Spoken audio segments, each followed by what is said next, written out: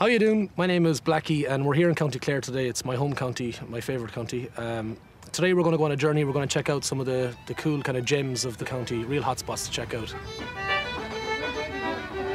Anytime I drive up around this area, I'm always in awe of the beauty of the place. It is stunning, like to have this on your doorstep. But if you come to County Clare, this is you, you have to check this out because it, it is it's something special, you know. Right, we're here in Doolin, County Clare. This is a small fishing village right on the west coast. The Atlantic Ocean is just over there.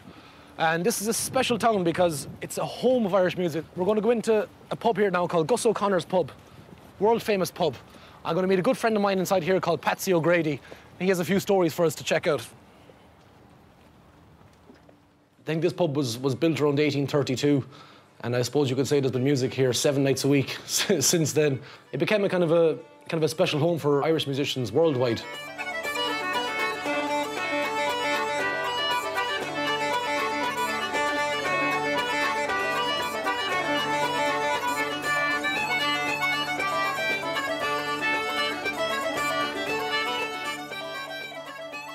Patsy O'Grady here, he's, he's keeping the other tradition going, which is, which is the, the music in the house, which is, which is also special as well. Your house especially is a great house for music, and, and I think you still carry on that tradition of having people over um, during the day or in, in the evening time for music. Well, there's a lovely atmosphere in it, you know. We've become, I suppose, very independent in Ireland now in ways, and people feel that they don't need one another.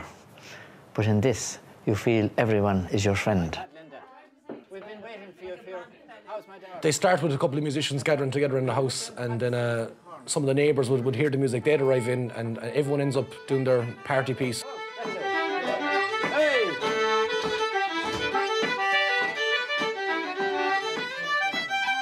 To make it, to make it great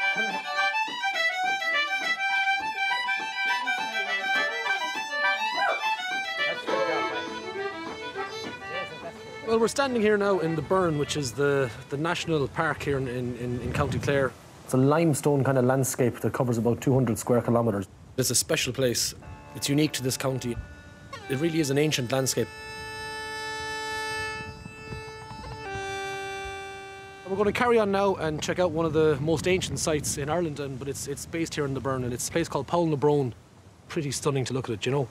And underneath here is, is a huge burial chamber down beneath these rocks. They excavated, they found a lot of stone axes and polished rocks and things like that, which would have been kind of sacred things for the lads at the time, you know. They were all buried in there with them, obviously to send them on their way to the next life. OK, we've seen Paul na the dolmen here in County Clare, so we're going to continue up the road. I have a few more things to show you, so we'll go and check them out.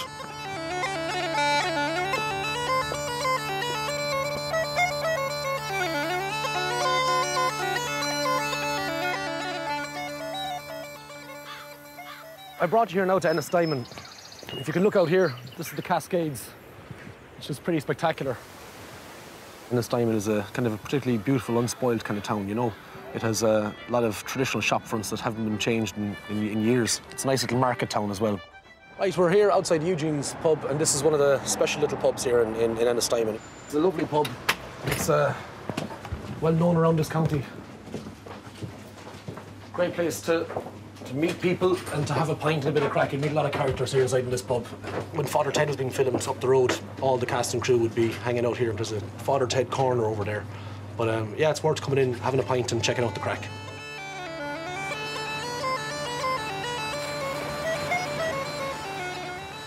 Right, we're here in Lahinch. This is the last place I'm bringing you on this journey. Lahinch is totally in contrast to the rest of the places like in the Burren.